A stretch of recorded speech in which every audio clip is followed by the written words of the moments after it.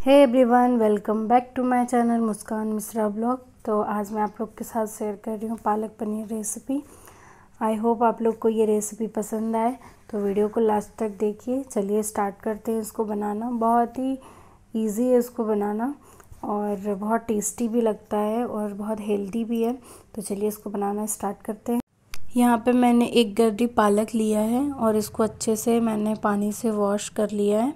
और यहाँ पे मैंने लिया है प्याज दो बड़े, कुछ लहसुन की कलियाँ, कुछ अदरक के टुकड़े और दो बड़े टमाटर और धनिया पत्ता मैंने थोड़ा सा कट कर लिया है और थोड़े सी हरी मिर्च ली है। और यहाँ यहाँ पे मैंने सारे मसाले ले लिए हैं, इनको मैं अच्छे से मिक्स कर दूँगी और यहाँ पे मैंने लिया है हींग और ये है कुछ खड़े गरम मसाला जिससे मैं फ्राई करूँगी। देन ये है एक कटोरी पनीर जो मैंने फ्रेश लिया है और उसको मैंने क्यूब में कट कर लिया है और ये है पनीर मसाला। तो मैं यहाँ पे थोड़े से पनीर मसाला भी यूज़ करूँगी। यहाँ पे मैं पानी एक भगोने में रख दिया है गर्म होने के लिए। वो अब अच्छे से बॉईल हो गया। तो उसमें मैं ये जो मैंने पालक को वॉश करके रखा था उसको मैं उसमें डाल दूँगी और इसको अच्छे से बॉयल होने दूँगी दस मिनट के लिए। ज़्यादा बॉयल नहीं करना है ओनली टेन मिनट्स ही करना है। ज़्यादा करने से फिर डार्क कलर हो जाता है, इसे नॉर्मल करेंगे तो कलर अच्छा रहता है। तब तक के लिए मैं यहाँ पे पनीर फ्राई कर लूँगी। जब तक के लिए तो मैंने इसमें थोड़े से नमक ऐड कर लिया। नमक पनीर में डाल दो तो वो थोड़े से मतलब अच्छा लगता है। उसमें नमक अच्छे से मिक्स हो जाता है। नहीं तो जब खाओ तो पनीर अलग ही टेस्ट आता है, उसमें नमक टेस्ट नहीं आता है। और यहाँ पे मैंने लिया है ऑयल पनीर को फ्राई करने के लिए। तो अब मैंने यहाँ पे दो बड़े चम्मच मैंने ऑयल डाल दिया है। और इसमें अब मैं सारे जो पनीर पनीर रखे हैं, उनको अच्छे से मैं फ्राई कर दूँगी। ज़्यादा डीप फ्राई नहीं करना है इसको नॉर्मल थोड़ा सा ही करना है, क्योंकि पालक पनीर में थोड़ा सा उसका कलर वाइट ही रहता है, पनीर का तो अच्छा लगता है। तो इसको नॉर्मल ज़्यादा फ्राई नहीं करना है। बस उसका कच्चा बना चला जाए पनीर का। बस नॉर्मल फ्राई करना है ज़्यादा फ्राई नहीं करना है इसको। हल्का हल्का जब रेड रेड ब्राउन ब्राउन होने लगेगा तो बस उतने में ही हमको उतना ही फ्राई करना है। आप लोग देख सकते हैं हल्का हल्का सा ही मैंने इसको फ्राई किया है। थोड़ा थोड़ा सा ब्राउन हो रहा था तो मैंने इसको प्लेट में निकाल लिया है। अब जो ऑयल बचे थे, मैं उसी में जो पनीर मसाला, जो ग्रेवी बनाना है उसका मैं मसाला इसमें रेडी कर दूँगी। तो यहाँ पे मैंने कुछ खड़े मसाले जो मैंने रखे थे वो डाल दिए हैं और थोड़े से मैंने हींग डाल दी हैं। और यहाँ पे मैं जो मैंने अदरक के टुकड़े रखे थे वो डाल दिए हैं, लहसुन की कलियाँ और इन सबको मैं थोड़ा सा फ्राई कर दूँगी। फ्राई करके और इसका जो पीसते हैं, जब मसाला जो उसकी ग्रेवी बनाते हैं वो बहुत टेस्टी लगता है।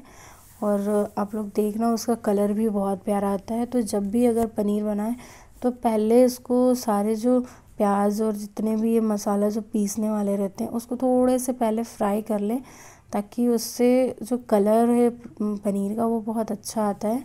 तो उससे पनीर की सब्ज़ी भी बहुत टेस्टी बनती है। इसकी ग्रेवी जो है ना, बहुत यम्मी बनता है। किसी भी अगर सब्ज़ी का अगर आप ग्रेवी बना रहे हैं तो इस तरीके से बनाएँगे तो बहुत ही अच्छा बनता है। तो यहाँ पे मैं ज़्यादा फ्राई नहीं करूँगी। नॉर्मल उसको फ्राई करना है, सिर्फ़ पाँच मिनट उसको फ्राई करना है। देन इसको मैं एक प्लेट में निकाल लूँगी और उसको थोड़ी देर उसको ठंडा होने दूँगी, क्योंकि गरम गरम पीस नहीं सकते हैं। तो थोड़ा सा इसको मैं ठंडा होने दूँगी जब तक। तब तक के लिए मैं ये देख लूँगी कि मेरा पालक जो मैंने बॉईल करने के लिए रखा था वो अच्छे से बॉईल हुआ है या नहीं तो आप लोग देख लीजिए कितना अच्छा बॉईल हो चुका है। और ये एक गड्डी पालक था और वो इतनू सा हुआ है। और अब मैं पालक को ग्राइंडर में अच्छे से पीस लूँगी और इसकी प्यूरी बना लूँगी। तो यहाँ पे जो मैंने पालक को अच्छे से पीस लिया और उसी पालक में ये जो मैंने फ्राई किया था, प्याज, लहसुन, अदरक और टमाटर, इन सबको इन सबको भी उसी में मिक्स करके उसको ग्राइंड में ग्राइंडर में ग्राइंड कर दूँगी। और ये जो सारे मसाले हैं, इनको मैं अच्छे से पेस्ट इसका रेडी कर दूँगी। तो यहाँ पे जो मेरा पेस्ट है रेडी हो चुका है। तो अब चलते हैं पालक पनीर का ग्रेवी बनाने। तो अब मैं यहाँ पे डाल रही हूँ थोड़े से ऑयल आपको अपने अकॉर्डिंग जितना ऑयल डालना है, आप अपने अकॉर्डिंग डाल सकते हैं। देन यहाँ पे मैं पहले जो मैंने मसाला रेडी किया था वो डालूँगी और उसको थोड़ी देर फ्राई कर लूँगी। लाइक फाइव मिनट्स ज़्यादा नहीं, थोड़े से ही उसको करना है। और देन जो मैंने ये पालक पालक का जो मैंने ग्रे, वो बनाया था ग्राइंडर किया था, वो और जो मैंने मसाला जो फ्राई किया था वो, दोनों को जो मैंने पीसा था वो इसमें ऐड कर दूँगी और इसको अच्छे से थोड़ी देर पकाना है। जब तक जब तक इसका कलर थोड़ा सा चेंज ना हो जाए। पकने के बाद इसका कलर थोड़ा सा डार्केस्ट हो जाता है। तो आप लोग देखना इसको, कैसे मैं इसको अच्छे से फ्राई कर रही हूँ।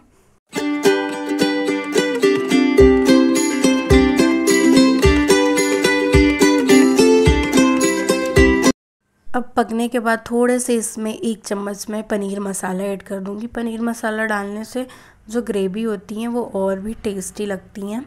तो और जो मैंने यहाँ पे पनीर फ्राई करके रखा था, वो उसमें उसको भी इसमें मैं डाल दूँगी और थोड़े देर इसको पका दूँगी अच्छे से। सिर्फ़ दो दिन, दो तीन मिनट तक पकाना है। ऑलमोस्ट हमारे ये जो पनीर पालक पनीर है वो रेडी हो चुका है और लास्ट में मैं धनिया पत्ता और यहाँ पे ये थोड़े से पनीर के टुकड़े मैंने रखा था तो उसको मैं अच्छे से इस पर घिस कर डाल दूँगी। तो इससे और भी टेस्टी लगता है। यहाँ पे आप फ्रेश मलाई भी यूज़ कर सकते हैं।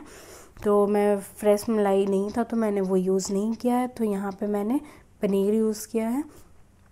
इससे ना जो टेस्ट आता है ग्रेवी में, वो बहुत ही यम्मी लगता है। तो ज़रूर आप लोग भी ट्राई करिएगा। तो यहाँ पे जो मेरा पनीर है, वो बिल्कुल रेडी हो चुका है।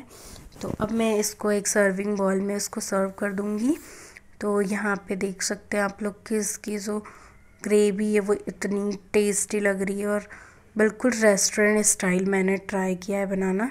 तो आप लोग भी ज़रूर इसको ट्राई करिएगा और बताइएगा कि आप लोग को ये मेरी रेसिपी पसंद आई या नहीं। अगर आप लोग को मेरी ये रेसिपी पसंद आई सो so, वीडियो को लाइक चैनल को सब्सक्राइब और ज़्यादा से ज़्यादा शेयर करिएगा और कमेंट करके बताइएगा कि रेसिपी आप लोग को कैसी लगी। तो मिलते हैं नेक्स्ट वीडियो में तब तक के लिए बाय बाय